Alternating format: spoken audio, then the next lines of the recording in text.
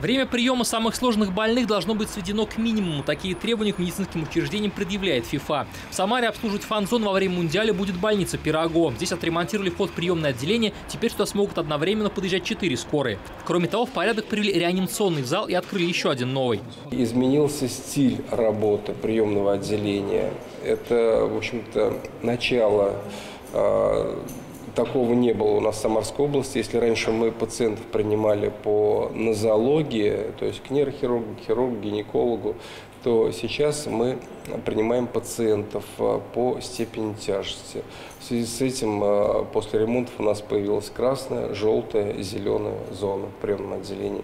Проверить ход работ приехал глава региона Дмитрий Азаров. Он пообщался с медиками. Отдельно отметил будущих врачей и нынешних волонтеров, которые будут встречать гостей этим летом. Как готовитесь к чемпионату мира по футболу?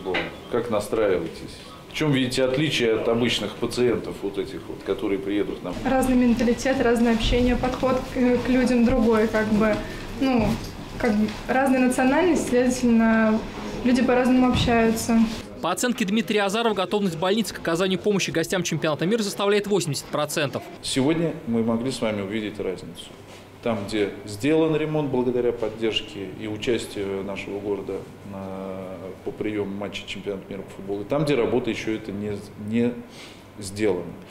Вот наша задача, чтобы этим самым современным требованиям, требованиям мировым соответствовала полностью больница Пирогова. Завершение всех работ больницы Пирогова планируется в мае 2017 года.